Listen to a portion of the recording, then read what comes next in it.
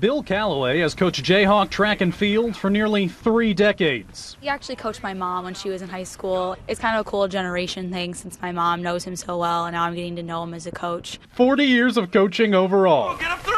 And the Jefferson girls coach shows no signs of slowing down. I feel good. I work out, stay in shape. He could probably outride us on a bike any day of the week. He rides like 100 miles a day. A perfect example for what Calloway preaches the value of time, effort, and hard work.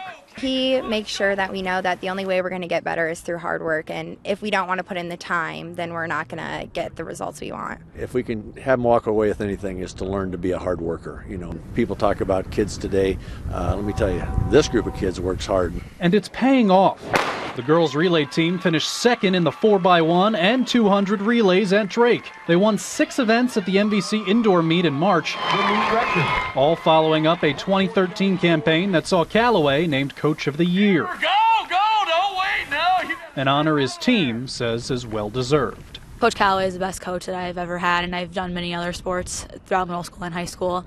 And he's really been the coach that um, I've looked to the most. Coach Calloway lives, eats, breathes track. Everything he does is centered around us, and it just kind of makes us grateful for Coach Calloway. I'm proud that I've been able to get through to kids what hard work is and, and, and to what it can accomplish by doing it. In Cedar Rapids, Landon Stolar, Fox 28 News at 9.